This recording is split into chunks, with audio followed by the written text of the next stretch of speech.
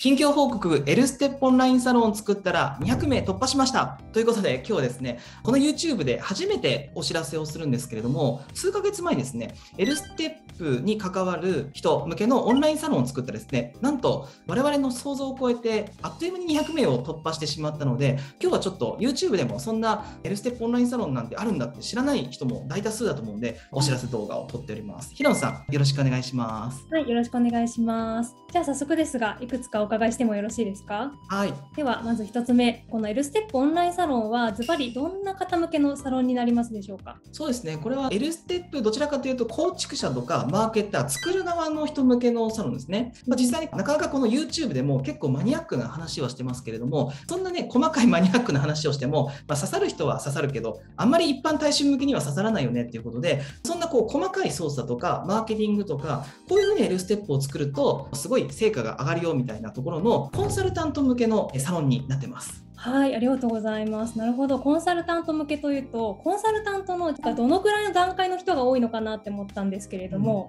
うん、どんな方が多いですかね、ね、これは結構我々の想定とは違うものだったんですけれども、多いのはやっぱり初心者とか、まだまだ L ステップってあんまり触ったことないんだけどっていう人が大体半数ぐらいなんですね。一方で、中級ぐらいの人はちょっと少なくて、逆に上級ぐらいの人も少し多いみたいな。初級者が一番多いんだけども、中級が少なくて上級が多いみたいな、そんなちょっとサロンになってますね。ありがとうございます。じゃあ、こう L ステップ初心者でも安心して入っていただけるようなサロンっていう感じですかね？そうですね。いくつかコンテンツもこの後お話ししようと思うんですけども、動画も今でも多分40本とか50本ぐらいあって、初級と中級と上級みたいな感じで、それぞれのレベルに応じて、この段階ではこれを学んだ方がいいよっていうようなコンテンツがたくさんあるので、どんな方でも入っていただけるんだけれども、結構初級者の方にも焦点を当てたようなサロンにはなってますね。なるほどですね。ありがとうございます。で今ちょっとコンテンツの中身のお話もあったと思うんですけれども、じゃあズバリこの L ステップオンラインサロンって何ができるサロンなのかっていうところも詳しく教えていただきたいです。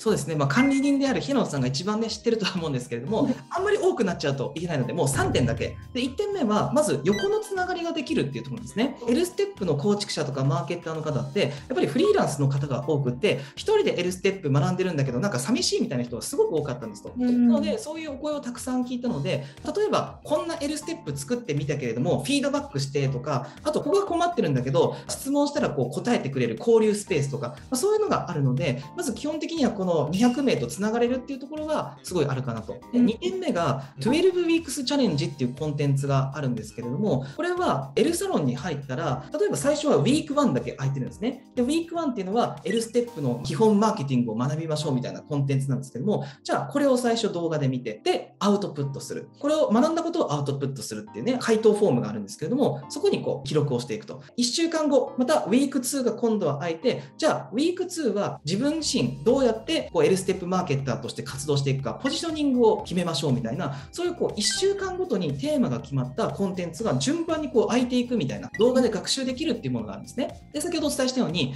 初級、中級、上級みたいな感じで、レベル別に動画もたくさんあったりするので、動画コンテンツが見られるよっていうのが2つ目に大きいと。で、最後の3つ目は、この動画もいいんですけれども、リアルタイムで、え Zoom で勉強会しましょうみたいな。例えばこの L ステップ作ったけれどもそれをリアルタイムでフィードバックし合いましょうとかあとは我々ですね営業とかもやるのでじゃあどうやったら会社様に L ステップを導入してもらえるのか営業勉強会をしましょうみたいなことも結構やっていたりします。なるほど。結構盛りだくさんですね。そうですね。ありがとうございます。結構横のつながりができるっていうのはやっぱり大きいですよね。私もフリーランスでお仕事してるので横のつながりが増えてたくさんの人とつながれるっていうのはすごい魅力的だなというふうに感じております。続いて最初の質問とかぶっちゃうかもしれないんですけれども L ステップオンラインサロンに入っている方でどういう層が多いのかなっていうところですね。初心者の方が多いよっていう以外に例えばこういうお仕事している人が多いようですとかそういうのがあればぜひ教えていただきたいです。そうですね。もうこれはまさにフリーランス。職業部で言うとフリーランス。レベルで言うと本当に初級者の方が半分以上ぐらいかなっていうそれがアンサーになるかなと思います。ありがとうございます。ちなみに L ステップ全く触ったことないようですとか全くお仕事事したことないよっていう人ってどれくらいの割合いらっしゃるんですかね？確かに言われてみればなんですけれどももともと Web 系のことをやっていて L ステップちょっと知ったから L ステップ触ったことないけど入ってみようかなっていう人はどうですかね？肌感覚で2割ぐらいいるんじゃないですかね。なるほど。そうなんですね。2割くらい。なかなか多いですね。なのでこれから始めていきたいよとか L ステップ本当にちょっと最近知ったけれどなみたいな人も気軽に入ってもらえるんじゃないかなっていうのは思いますね。なるほど、ありがとうございます。じゃあ最後にですね、なかなか表向きに公開できないリアルなデータとかがあれば教えていただきたいんですけれども、この点はいかがでしょうか？はいそうですね。冒頭にも言ったようにあんまり細かいデータってそもそも興味ない人もいるしあとは例えばそれこそうちで管理しているうちでやっているアカウントの運用状況がどうだっていうのはなかなか表だっては話せないっていうところもあるんですね。それこそ公開できる範囲でねこの YouTube で言うと今私がやっている L ステップオンラインサロンでは無料会員のうち大体4人に1人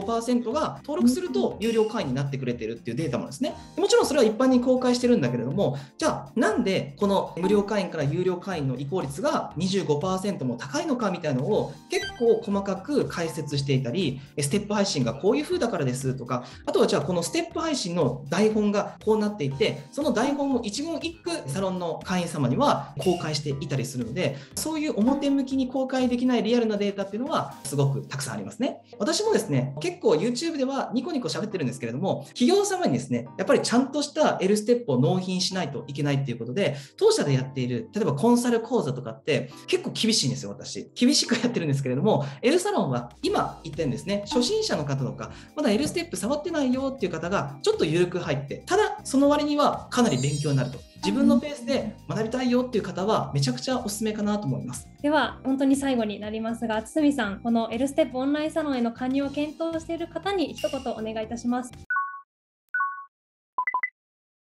ま、本当にですね、この L サロンって結構ゆるくやっていて、オンラインサロンっていうと、使い倒さないといけないとか、積極的に参加しないといけないみたいな、そういうふうに使い倒した方がいいよねっていう意見もあるんですけど、私自身実はいろんなオンラインサロンに入っていて、あんまり使い倒さないタイプなんですね。使い倒さないタイプだからこそ分かることがいろいろあって、ちょっと前で言うと、いわゆるロム線みたいな感じですね。動画上がってくるコンテンツだけ自分のペースで好きな時に学びたいと。私自身がそういうタイプなので、そいう人にこそぜひ入ってほしいな。その方向けのコンテンツとかも結構あります。逆にオンラインサロンってやっぱり交流してなんぼだとか、使ってね、リアルタイムで出てなんぼだっていうところもあると思いますので、そういう方向けにもいろんなコンテンツは用意してますから、ロム線でゆっくり見たいよっていう方にも全然おすすめかなと思ってますので、ぜひ加入を検討していただければと思います。また、あの金額とかは詳細ページ、また概要欄とかにも貼っておきますので、ぜひそこから見ていただければ嬉しいですし、いやいや、いきなり有料会員になるのはっていう方は、無料会員バージョンもこの概要欄のリンクに貼っておきますので、ぜひそちらから興味のある方を見ていただければなというふうに思います。なおさん、じゃあ今日はありがとうございました。ありがとうございました。